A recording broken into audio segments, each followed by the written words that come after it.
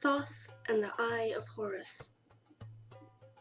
Born to the knowledge that his father Osiris had been killed by Seth, Horus was fated to be an agent of divine vengeance. From the time of his early manhood, he devoted all his efforts to bringing his wicked uncle to justice and thereby restoring order to the world. The contest between the two gods, one in the prime of his youth and the other still mighty both in strength and cunning, was an epic one that lasted for many decades.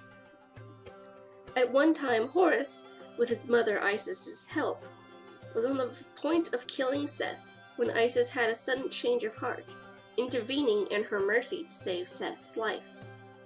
In his battle frenzy, Horus turned his wrath on his mother, attacking her savagely and so rousing the anger of the other gods. Swinging wildly with his copper knife, he even managed to sever her head, although as mistress of magic, Isis was quickly able to repair the damage. Ashamed of his act, Horus fled into the wilderness while the gods scoured the earth in search of the miscreant.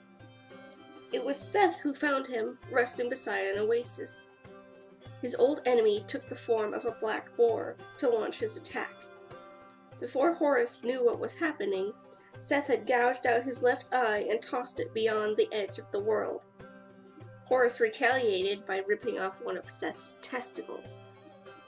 Given that the two opponents were gods, the injuries had cosmic connotations. Horus's left eye was the moon, whose light was thereby lost to the world, while Seth's partial emasculation was subsequently used to explain the infertility of the desert with which he had been associated from early times.